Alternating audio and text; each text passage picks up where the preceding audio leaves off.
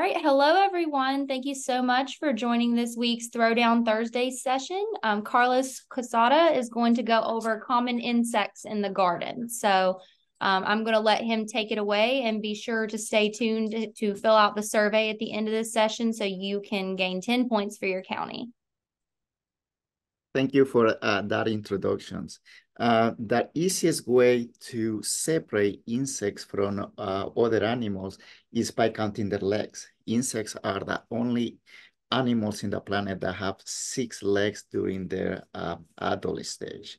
Um, another characteristic of insects is that they have uh, their body divided into three parts. They are head, thorax, and abdomen.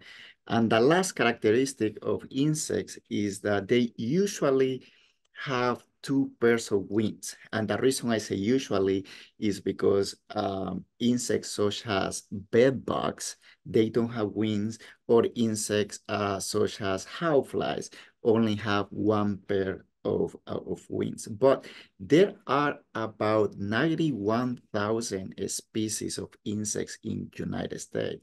And it has been estimated that at any point of time, we have at least a, a thousand insects in our backyard.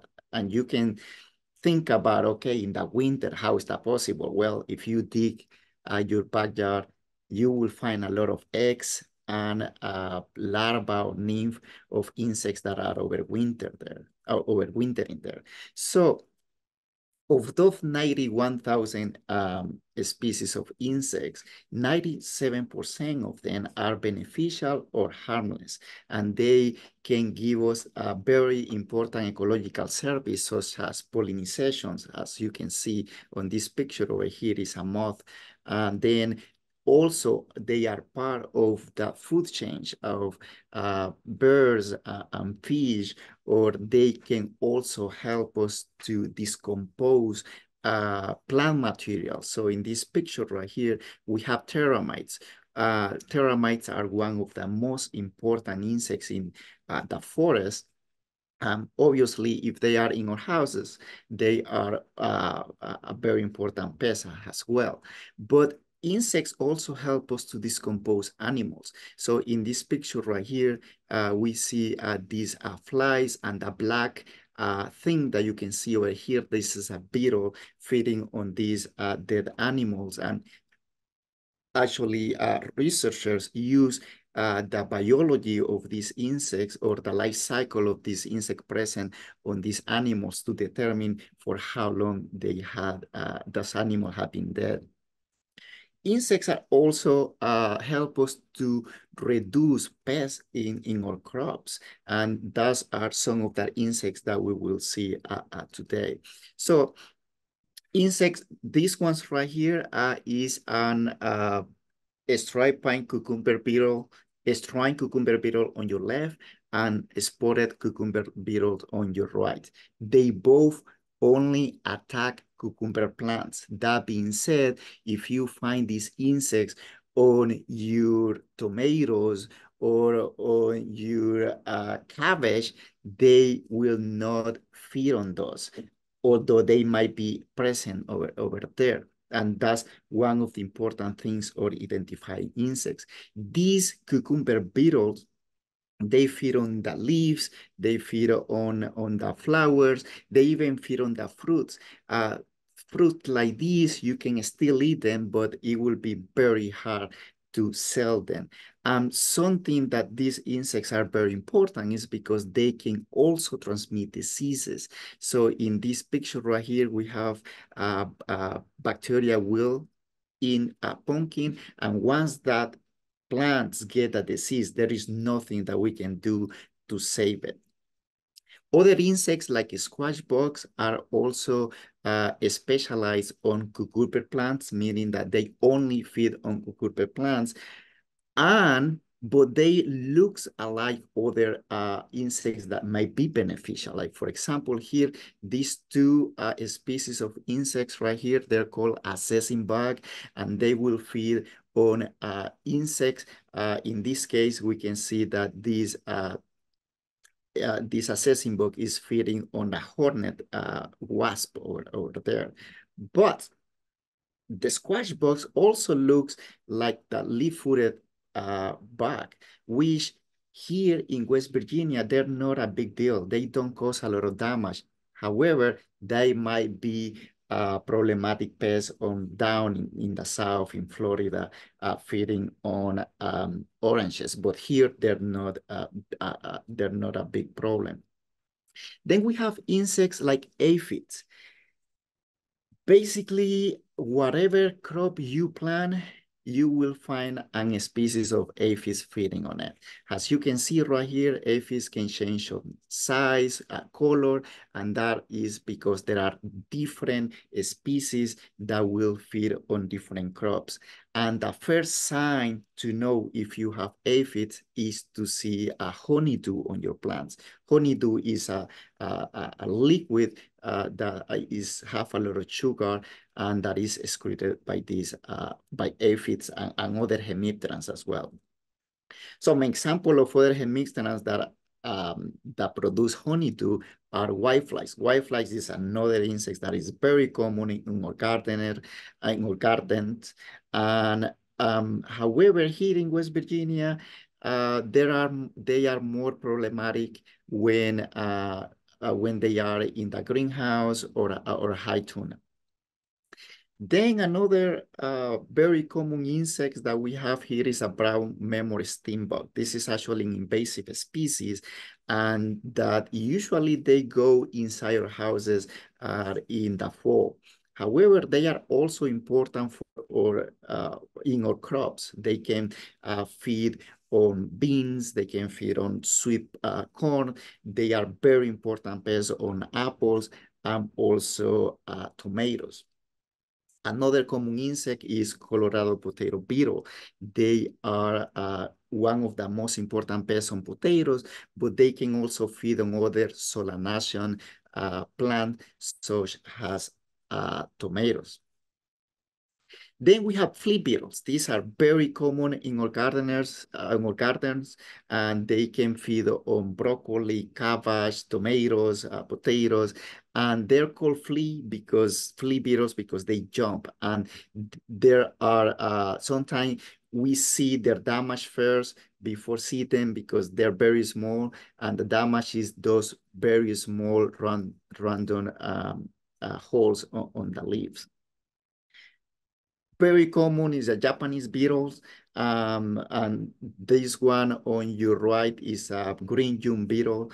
And they usually feed on a lot of different plants, but Japanese beetles will love your roses. So if you have roses on your garden, uh, keep your eye on this beetle between middle of June to August because um, if they find them, they will they will come and, and defoliate uh, your, uh, your roses. Then we have a lot of butterflies and moths uh, uh, around, and they are not a problem during the adult stage. However, during the larva stage, they are really good uh, uh, leaf uh, feeders. So here we have several species, uh, but some of them will also go after the fruits. I already mentioned some of the beneficial insects that we can find in our gardens, but I will I will say that hoverflies are very common uh, in our gardens. A lot of people confuse them with um, with bees because of, of the color, but these are actually flies and you can distinguish by the eyes and they only have one pair of uh, of winds. They usually, if you are outside and you're sweating, they will go and try to suck the sweat uh, from your legs, and people uh, feel that they're biting, but they cannot bite, they cannot sting. And they are very important predators during the larva stage of aphids. Then we have lacewings, another important uh, predators that are very common in our gardens. Uh, you can actually buy them and release them on your garden, but naturally they will be there and uh, they uh, feed on aphids during the larva stage, during the adult stage. They are attracted to light. light. So it will be very common for you to find them in your windows uh, and, and, and door if you have, uh, if you have lights uh, over there. So uh, lady beetles are very common in our gardeners too. They're good insects. They feed on aphids, whiteflies, spider mites, and many others. In this picture right here, I put on purpose an Asian uh, lady beetle, which will go inside your houses, and some people dislike them uh, because of that. We have other lady beetles like these that are called Mexican bean beetles that will feed on our beans. However, there are many different species of lady beetles that are beneficial to us. And then we have insects like these parasite, a parasitic wasp over here. They're very, very small. They're very common in our garden, but we cannot see them because they're very, very small. So just in the last 10 minutes, I have mentioned about 20 different insects uh, that we have in, in, our, in our garden.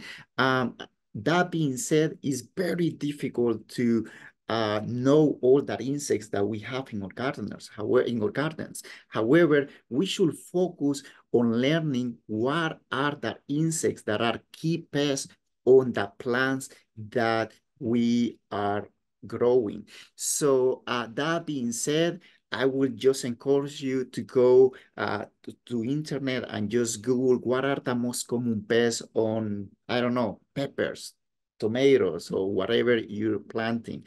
My recommendation will, see, will be to go in the, the website and just write Mid Atlantic commercial vegetable production uh, recommendations and the first a link that you will have is something from uh, New Jersey. I will just click over there and I will download the PDF.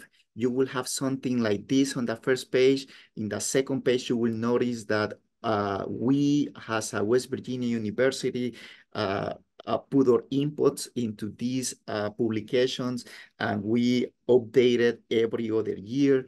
And it is a big publication, so you will have really good information about all the different vegetables that we have here in West Virginia. Uh, this is an example of the tomato page. It's giving you all the different varieties of tomatoes, uh, what is that soil requirement, nutrition, uh, fertilization. But what I want to get into is they also give you information about insect control. And you can use these list of insects to know what are the most important pests on the crop that you are growing. So in this case, we have these few insects in that uh, in that publications. That means that those are the most uh, insect that the uh, the most common problematic insects on tomatoes. So with that, um, I will uh, open uh, to any questions.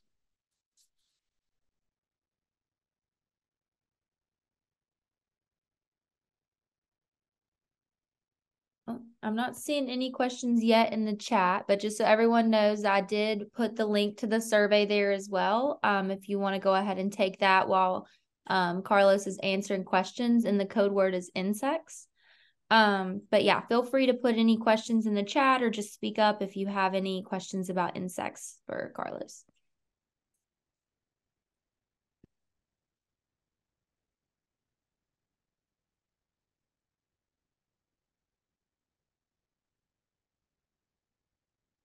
Have a quiet group today compared to sometimes there sometimes we get questions sometimes we don't. It just depends.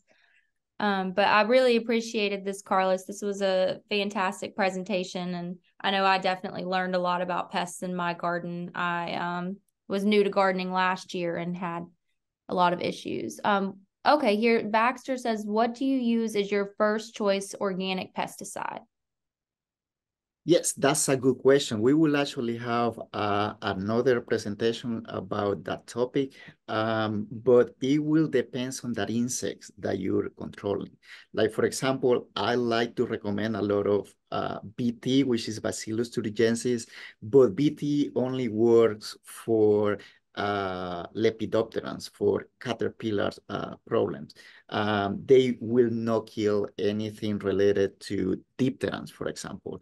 So another good choice may be oils, uh, insecticidal or horticultural oils or insecticidal soaps, uh, but they you have to know how to use them because if you put more what the label recommend you, you can kill the plant or if it is too hot, you can also kill the plants. But I would say those three. Um, for growers, I recommend a product that is called Beauveria bassiana. Uh, it is a fungus, but I don't think it is a sold for uh, for home for homeowners. So I think it's only sold for for for farmers. Okay, and Mary um, says Japanese beetles seem to like grapes, and also she wants to know what would be the black beetle with red stripes. Uh, well, like I say, Japanese beetles, yes, uh, they like grapes and they like many other plants. So I have seen them on like maples, apples, oaks, so many different type of plants. Um, about the beetles, uh, I don't know. I mean, like there are more than 20,000 species of beetles here in West Virginia. So I I don't know. Uh, I don't know.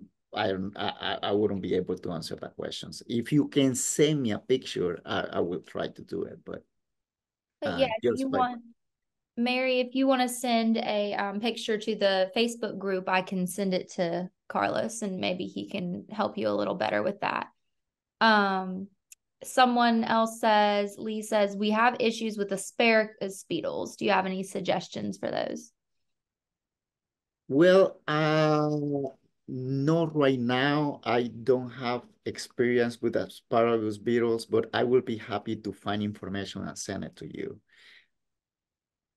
Perfect. And then someone else, uh, Donna suggested maybe um, maybe the beetle that Mary had a question about could be a box elder beetle. Um, so I think that's just a suggestion. Um, yeah, well, the box elder, um, yeah, it is a it is not a beetle, it's a hemipteran, but um, usually it's not usually they only feed on one type of maple they're not going to be problematic on your house or any of, of, of the other plants. But I I don't know if it is the ones that that that she's talking about. Um, and then Billy says, um, I use a lot of cinnamon on my house plants. Would it deter caterpillars and others? And then he also says he has something chewing into his zucchini stems at the soil level in the zucchini and it is coating the entire plant, it might be it might be a co a type of cutworm. Oh, okay. Um, I don't know if cinnamon will work. I mean, it, it have a strong smell, so I will think that it might it, it, it might um, repel some type of insects, but I I haven't read about if it will um, if it will de deter uh, caterpillars. Uh, for caterpillars, like I say, I will use BT, Bacillus thuringiensis is, is, a, is a bacteria. You can find it in basically anywhere that sell uh, uh, pesticide products, but it's, a, it's actually a biological control, so I would recommend that. Okay. And then um, he said like a mosquito bit um like a mosquito what what do you mean? Um billy do you have a little more information on that on the mosquito? Yeah like i say pictures are great whenever you have questions and and and if you if you uh, want to uh, i can type my email so you can send me questions directly to me or or to you. Um, I see a recommendation over there about beneficial insects in the garden. Mm -hmm. um, beneficial insects such as predators and parasitoids uh, feed on pollen, just like pollinators. So by planting uh, flowers uh, near to your crops, that way you will try, you will keep your uh, beneficial insects uh, in, in that place so that they don't go to a different, uh, to, to, to another place for, for other food. Control mosquitoes. Um, well, uh, you can control mosquitoes uh, with uh, with products in the adult stage, but that's not efficient. Uh, the best way to control mosquitoes is to control them in the water or to avoid water, okay? Uh, because you can try to control mosquitoes in the adult stage um, and you will kill a lot of them, but the next day all that are reproducing and developing on the water on, on the following week, they will come up from the water and there will be nothing to, to stop them. So the best way to control mosquitoes is by avoiding um, uh, water that is not, obviously that is not moving and to control the mosquitoes in that level during the larva stage. That's the best way to control mosquitoes. And then Mary wants to know is BTS specific for beans or other crops? No, BT uh you can you can basically uh apply BT in all all all vegetable crops that I know. Uh, but obviously uh, there are different formulations, so you need to read the label, and in the label of the products will tell you where can you apply these products you cannot apply these products if the site, in this case, will be the crop is not in the label. But BT is very safe. We actually, uh, BT is actually used to control uh, black flies on rivers because we know that it is very safe for mammals and uh, many other uh, fish and many other type of animals. Yeah. Are there any more questions? Um, as always, you guys, I will be um, sharing a recording of this um, so you can go back and watch it later. And then we will also have the survey link available at that time as well in case you miss it or if anyone is watching this recording back um, we always include that survey link in the description of the video and on, in our Facebook caption. So um, just letting you guys know for that. But otherwise, we really appreciate this, Carlos. This was very informative. Um, and we definitely learned a lot about insects today. So thank you to everyone for joining.